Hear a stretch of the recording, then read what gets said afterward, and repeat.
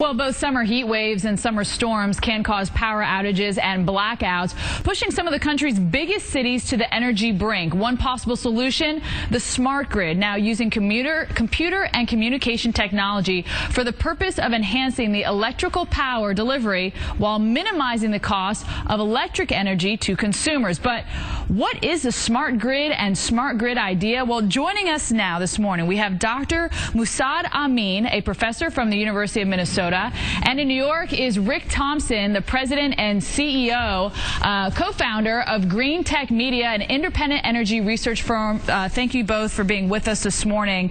Dr. Amin, I want to start with you. If it's environmentally and ecologically beneficial, why hasn't a national grid been instituted? Good morning, Stephanie. Uh, it is because it's a huge undertaking. When you look at all of the aspects, this is the North American grid, according to National Academy of Engineering, is the greatest achievement of the 20th century. However, there are many, many stakeholders, public, private, and all sectors that are involved in it.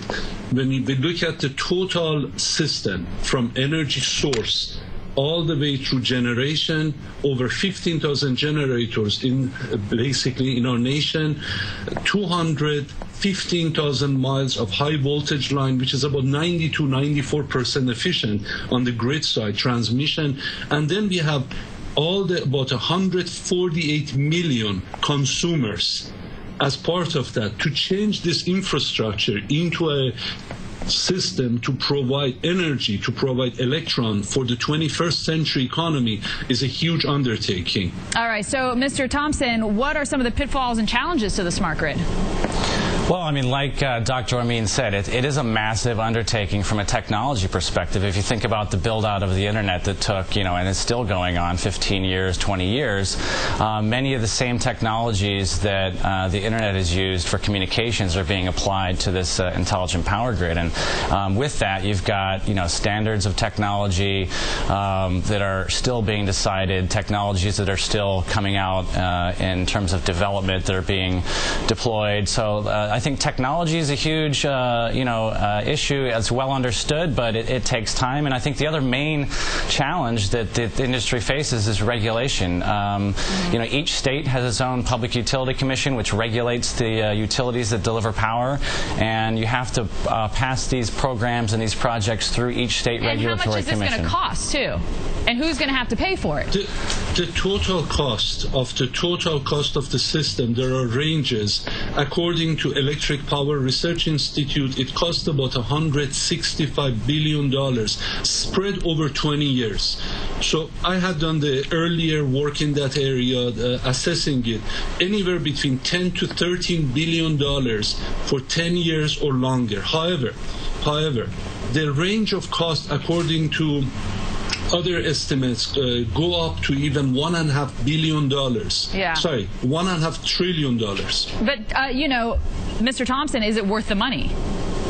Well, you know, I think there's uh, that's a, that's a big debate, and obviously the ratepayer will be, um, you know, incurring, you know, a, a, a, part of this cost. But it, it, there's really not uh, an option when you start to think about what's happening. You know, um, Mr. Thompson, I'm sorry I have to interrupt you. We have hard breaks here. There's nothing I can do about it because we have to hit our local on the 8th. Tell us what you think. Abrams and Bettes at weather.com or Twitter or Facebook our smart grid discussion one more time. Joining us, Dr. Massoud Amin, a professor from the University of Minnesota. And also New York is uh, Mr. Rick Thompson, who is the president and co-founder of Greentech Media, an independent energy research firm. And Mr. Thompson, I wanted to be able you to finish your question here about is this worth the money because the taxpayers are the ones that will be feeling it. Yeah, and I, I think the response I want to make is that I don't think there's a choice. When you start to think about renewable power, solar power, wind power, um, the the infrastructure of the grid has to be upgraded to support these types of renewable energy, to support electric vehicles. So um, it, it, it has to be worth it. I mean, now is the time and, and the technology is in place. And uh, Professor Amin, will the weather have any impact on the grid like it does now, or would we be able to eliminate that?